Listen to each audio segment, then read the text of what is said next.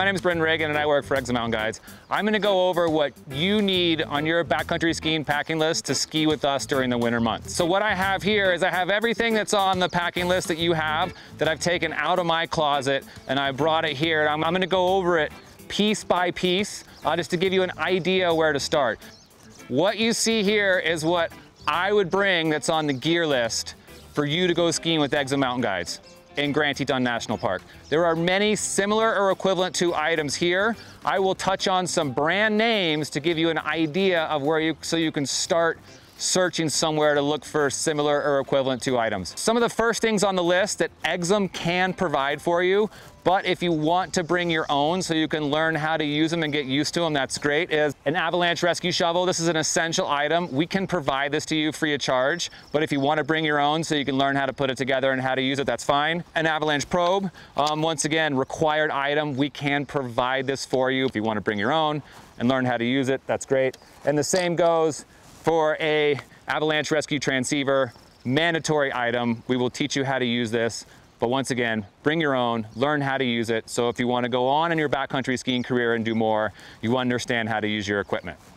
So uh, we have to figure out how we're going to carry all of this stuff. So ski packs become really important. So something in the range of like a 32 liter ski pack, which you see here, Alpha SK32. Um, it's a little bit small for big days of backcountry skiing. So I will go with the Rush SK32 here from Arc'teryx. It's really uh, helpful in your backcountry ski pack to have a dedicated pocket that all of your avalanche rescue tools can go into. Um, it's also really important if you're one that likes to ski with a backcountry skiing helmet or a ski helmet, it's really important to have a really nice way to fasten it onto your ski pack.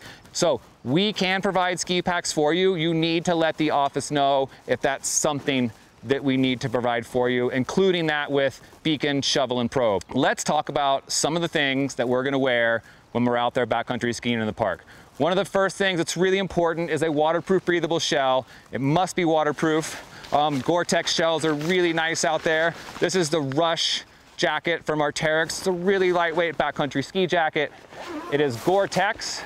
You can see that it is seam taped on the inside to be waterproof. Um, it's, it's oversized, it'll fit over all your layers, it'll give you a lot of space for movement while you're skiing, but a waterproof breathable jacket uh, is mandatory when you're skiing with us. On our bottoms, couple different options that we might work with there depending on how you run temperature wise. I've brought a heavier weight pair of really lightweight fleece long underwear that I'll wear, base layer that I'll wear on a colder day. And then here is a little bit lighter weight, three quarter length long underwear that doesn't go down into my ski socks or my boots, which I like a lot also, that I'll wear on warmer days. Now, still down there on the bottom layers, we need to look at what kind of pants we're gonna have on. Um, this is a really nice waterproof soft shell pant from Arc'teryx called the Procline FL pant. I wore this pant every day last year. It was my go-to pant. Um, it's got a normal belt on it that's built in. It has uh, these quarter length side zips here. So this is the Proton FL pant from Arc'teryx. It's a waterproof soft shell pant that's great for almost all winter days. Has a pocket that you can put your phone in or your beacon in here with a clip. Um, it is important to note that if you do get a soft shell pant for backcountry skiing, that it is on the burlier side of soft shell pants. Uh, so it does keep you warm when you're out there. The other option would be a full Gore-Tex pant like this Rush FL pant. This one's a little bit higher. It has suspenders here to help the pants stay up, but it's also full Gore-Tex, so it's waterproof, it's fully breathable. The seams are taped on the inside. As you can see, Procline FL pant and the Rush LT pant. Just to be noted, there are similar or equivalent to pants like this um, in the marketplace. This is just give you an idea of where to start looking for backcountry ski pants to come out and ski with Exum. Uh, one of the next layers that I'm gonna put on my body is gonna be some sort of base layer. Uh, it's most likely gonna have a hood. So on the colder days, I'll still go with a sun hoodie style base layer here that has a hood that'll fit over my baseball hat, which I tour in most of the time. Um, but as you could, this one, if you were able to feel it, it'd be a little bit heavier. And then as we get toward the spring days, or if I run really hot, uh, I would go with like this Cormac Sun hoodie here that's still lightweight but still has the hood. We'll touch on this a little bit more later um, because I like to ski tour with a baseball hat on most of the time. Uh, it's really nice to have a hood that pulls up to block some of the cold air uh, from coming in and then the brim keeps the snow and the sun out of my face. Then I look at what my next layer is. Uh, this is the Squamish hoodie from Arc'teryx. It's a really nice lightweight windskin. So if you think it might be sunny and you might be taking a lot of layers off, this works really well over your base layer. Uh, that's the Squamish hoodie. Once again, there are a lot of products in that category that are similar or equivalent to that. Then on top of the Squamish, I'll be looking at a breathable soft shell, uh, like an active layer that I can ski tour in, that I can hike in, uh, something that's gonna keep me warm but still breathe really well. Here I've been using the Proton FL this last winter, uh, really liked it a lot. But once again, there are similar or equivalent to products out there. It's really light, it's really packable, quite breathable. One item that's essential that you'll need that even on day trips I always take with me into the backcountry is a headlamp. Uh, you could go with uh, the Petzl ones uh, that are rechargeable. Uh, that's what I use. The once I charge it, it lasts a long time. I barely turn it on in the winter. It's basically for emergencies if we have to come back as we're losing light, or if you're doing an alpine start for a big backcountry skiing day, you can go with a smaller one or a bigger one. They're both gonna be sufficient, um, but they are the rechargeable ones, which I like.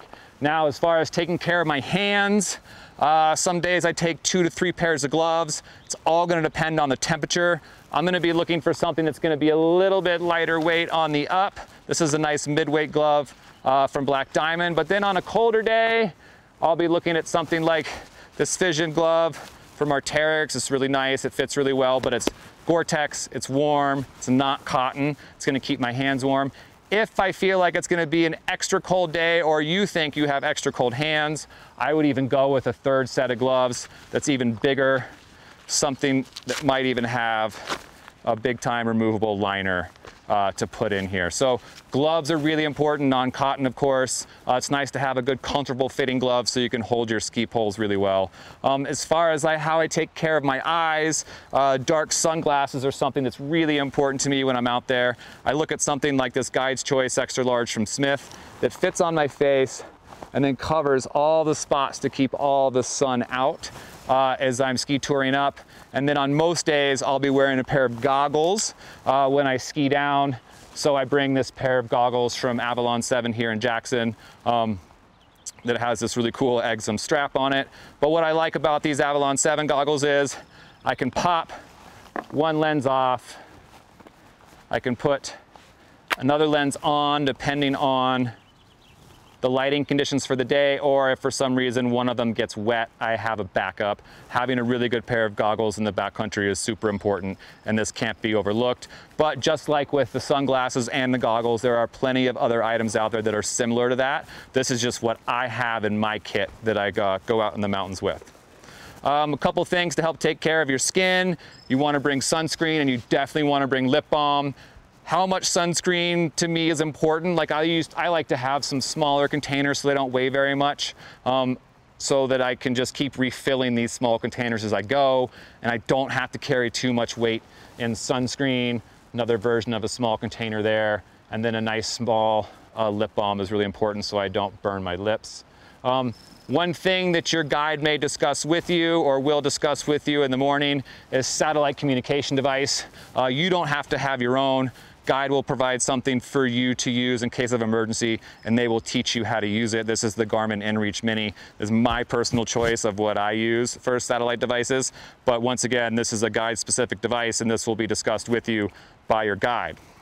Okay, another extremely important piece of gear, in my opinion, is the over puffy or your big puffy jacket for the really cold, deep winter months in the Tetons. You will need something with a hood that's really warm, but still packs down really small. This is the Nuclei SV from Arc'teryx. Um, there's a lot of products in this category. This is what I choose uh, based on its compressibility and its weight and uh, how warm it keeps me in the winter. You can stuff it into its own pocket and then put it in the pack.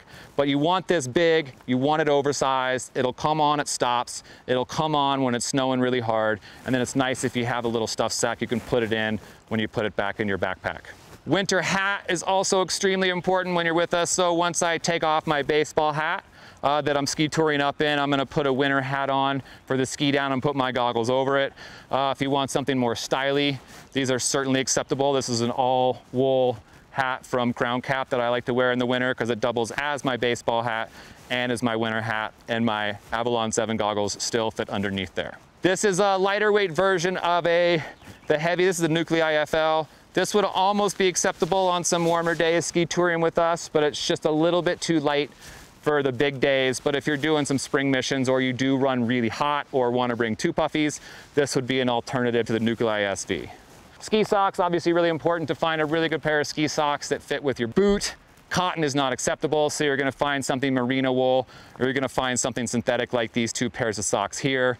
Um, sock preference is gonna totally depend on your ski boot fit, but it's nice to have a couple pairs of socks when you come here. As we were talking a little bit about uh, sun protection, uh, once again, I wear baseball hats touring even in the deep winter. I just pull my hood up over them, or I wear this uh, heavier weight hat here. So we have hats here that you could buy in our retail store. Food is something that's very personal to people, so we want to talk about making sure you bring enough healthy snacks with enough healthy calories for the day of ski touring. But as far as water goes, uh, we're a little bit more particular. We want to make sure you're carrying at least two liters of water on a normal backcountry ski day. One hard bottle is really good. You could put electrolytes in here or maybe a hot drink or this, this could also be a thermos, but it needs to be hard, non-breakable, reliable lid, and then a screw top. And then one of my favorite things to do in the winter is I will use a one liter collapsible wa water bottle just for water. It'll be the first thing I drink during the day. And then once it's empty, I can just roll this thing that up, put the cap back on, and I just saved all that space in my backpack, which can be super helpful for my big puffy as the day goes on, cramming it in and out. Um, an optional piece of gear for backcountry skiing is a backcountry skiing type helmet. This is the Scott Couloir helmet. It's really lightweight. It doesn't have a lot of insulation, so it's not gonna get too hot if you're wearing it on the way up. And it fits really nice over uh, a hat. Once again, optional equipment here. If this is something you like and you wanna bring a ski helmet, I would look into finding one a helmet like this Scott one that's nice and lightweight and not too hot. Uh, definitely in the winter, I'm still way into wearing neck gaiters or buffs. Um, I put it on in the morning. I can pull it up over my face. I can pull it most of the way up the back of my head to add an extra layer of protection underneath my baseball hat. And then I can pull my hood over it uh, to increase that. And then of course it keeps the wind and the sun uh, and blowing snow and stuff like that out of my face and keeps me more comfortable. So I really don't leave the house in the morning in the winter without putting on some sort of neck gaiter or buff. Okay, I'm gonna touch on some of the really hard goods that are really important for your trip here and a few things that get overlooked a good bit. Um, so you're gonna need pair of skis with AT touring bindings on them to ski with us in the Tetons. Generally these days, uh, the AT skiing binding is gonna have a front toe piece that's gonna have two pins that's gonna clamp down on your boot and then it's gonna have a heel piece here in the back that when you're going uphill, you will be able to rotate it and your boot will fit right in. You can lock the toe and then you can tour up the mountain here. Your touring boot should have a lock mechanism in the back for uphill and downhill for ski mode and for touring mode to help with the flex in the front along with this here. What boot I have here, this is the Hoji 130 from Dynafit. This is the boot that I choose. There are many other boots out there in this category that you can search out. Boot fit particular to your foot is really important, so make sure you try on some boots or you find a boot that works for you. After the boots, another really important piece of gear you're gonna want when you come here is a really good pair of backcountry touring skis. That ski is generally lighter weight than a ski you would use at the resort or village or at your ski area. And this ski is gonna have particular binding. It's gonna have a toe piece, it's gonna have a pin, it's gonna have a heel piece that fits in your boot. This particular ski that I used most of the time last year, this is the 4FRNT Hoji with the four lock system for the skins here in the tail. This ski is 184 in length and 112 in width. I, th I think this is a great all-around ski for the Tetons in the midwinter. Once again, this is the 4FRNT Hoji in a 184, 112. Uh, there are many skis in this category that are similar and equivalent to this. This just this Hoji ski just happens to be my preferred ski for the daily driver for the Tetons. A uh, couple reasons. One, I think it's pretty light too. There's this really interesting skin system called the forelock that creates a much smaller skin than you would normally carry. So you lose a lot of weight here. This forelock hole here is where the skin tail goes in. So I save weight there and it doesn't pop off the tail as much. So uh, that being said, there's a lot of great backcountry skis out there. Uh, your guide can help you pick the right one or the shop you rent from can. But it's really important to make sure the boot fits in the ski, the ski's fitted properly. And it's really, it's also extremely important to make sure even if they're your own skins or skins from the shop, that they fit the ski that you have and that all of the equipment is in totally good working order. One of the last pieces of gear in that category you're gonna need is a pair of telescoping ski poles.